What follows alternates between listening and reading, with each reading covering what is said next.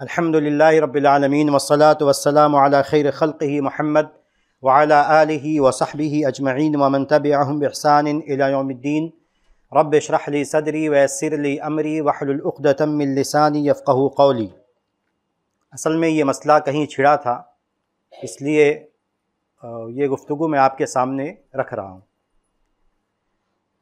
आपको पता है कि मर्दों के लिए सोना पहनना जायज़ नहीं है। और औरतों के लिए सोना और चांदी पहनना जायज़ है। अलबत् मर्दों के लिए इजाज़त किस बात की है कि वो चांदी की अंगूठी पहन सकते हैं?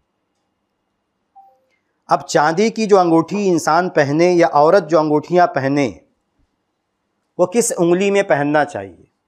असल में कहीं बात आई थी, इसलिए बात ज़िक्र की जा रही कि कुछ लोगों ने कहा कि फ़लाँ फ़लाँ उंगलियों में अंगूठियाँ नहीं पहनना चाहिए। तो उसमें तफसील क्या है, मैं इख्तसार के साथ आपके सामने रखना चाहता हूँ।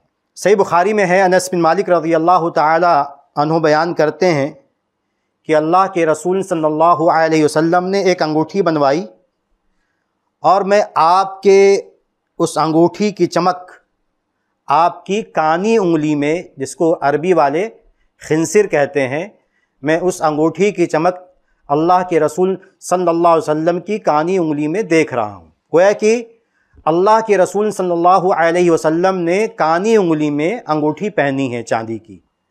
तो मुस्तहब ये है, मर्द के लिए कि कानी उंगली में अगर पहनना है तो कानी उंगली में अंगूठी पहने।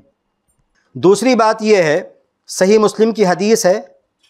अली रज़ी अल्लाह तु बयान फरमाते हैं कि अल्लाह के रसूल सल्लल्लाहु अलैहि वसल्लम ने मुझे मना फरमाया कि मैं इस और इस उंगली में अंगूठी पहनूं। और आपने बीच की उंगली और शहादत की उंगली की तरफ़ इशारा फरमाया। यानी मर्दों के लिए जायज़ नहीं है कि इन दोनों उंगलियों में अंगूठी पहने। एक बीच की उंगली और दूसरा शहादत की, या जिसको अरबी वाले सब्बाबा भी कहते हैं। और शहादत की उंगली, इन दो उंगलियों में सही मुस्लिम की हदीस है कि इंसान इन दोनों उंगलियों में मर्द अंगूठी नहीं पहनेगा। तीसरी बात क्या है? कि मर्द औरत के लिए, मर्द औरत के लिए दूसरी उंगली में अंगूठी पहनना और अंगूठे में अंगूठी पहनना। एक हदीस आई है जिसमें नाजायज़ बताया गया है। नबी ने मना फरमाया कि दूसरी उंगली में और अंगूठे में मर्द या औरत अंगूठी पहने, लेकिन वो हदीस ज़यीफ़ है। वह हदीस जो है ज़यीफ़ है, काबिल एतबार नहीं है, शाज है। जैसा कि शेख अलबानी रहमल्ला ने बयान फरमाया है। तो ख़ुलासा क्या निकला? असल में बहुत आसान सी बात। ख़ुलासा ये निकला कि औरत पाँचों उंगलियों में अंगूठी पहन सकती है। किसी भी उंगली में औरत अंगूठी पहन सकती है। और मर्द जो है वो तीन उंगलियों में पहन सकता है और ये बीच की उंगली में नहीं पहन सकता और शहादत की उंगली में नहीं पहन सकता।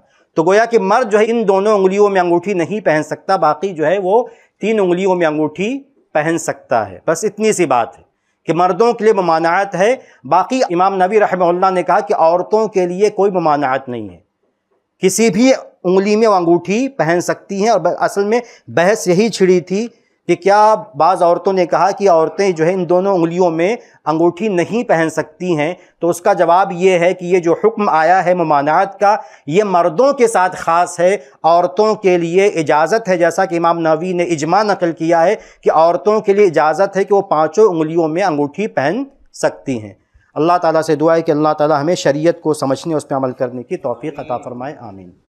ऐसे ही फ़ायदेमंद इस्लामिक वीडियोस देखने और मनहज सलफ़ पर किताब व सुन्नत की तालीमत को आम करने में हमारा ताउन करें, ताकि आपके लिए ज़रिया नजात, जन्नत के हसूल का सबब, साथ ही माल में बरकत व इजाफे का ज़रिया भी बने। आमीन। जजाकल्लान खैरन।